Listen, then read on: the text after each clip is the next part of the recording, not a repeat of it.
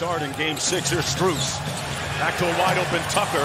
Tried to pass it to Adebayo, and Horford picked it off. Brown on the break. And a nice scoop off glass. It's 4 0 Boston. Brown in heavy traffic draws the foul. That foul is going to go against Kyle Lowry, it looks like. Remember, he fouled out in game transformation from strictly a point guard to combo guard. Strus downhill, got men at the rim and packed by Horford. Brown on the break. Williams with the layup.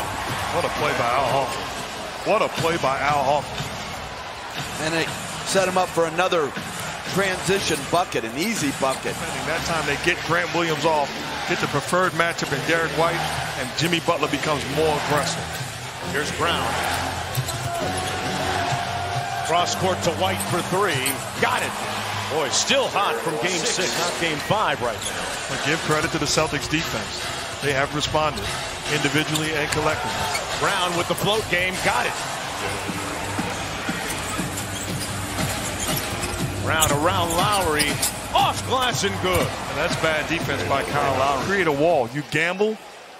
He blows by you doesn't allow the guys behind you to be in position to help. That's poor defense. Brown and Tatum leading the way for the Celtics with eight points apiece so far. Boston by 12. Brown, a quick three, knocks it home. Boston up by 13. Smart out to White. Celtics shooting about 48% from the field. Brown on the drive, Whistle and a foul on P.J. Tucker. That's going to be his first personal foul. NBA.com. There's Brown out top. Out to White, steps into the three and knocks down another one. Derrick White has been a find off the bench here in the last couple of games Game for Boston so far. Cross court, it's Brown.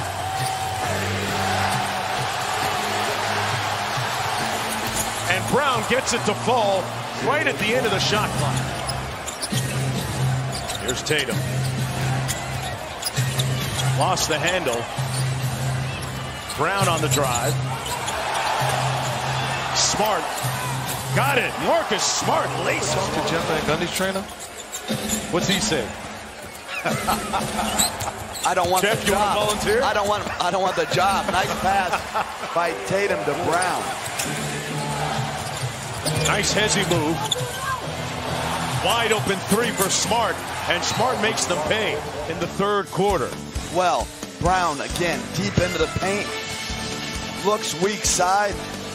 Wide open, and Marcus Smart. Big time response in the third. Single-handedly keeping the Heat afloat with a little bit of help from Adebayo. Here's Brown.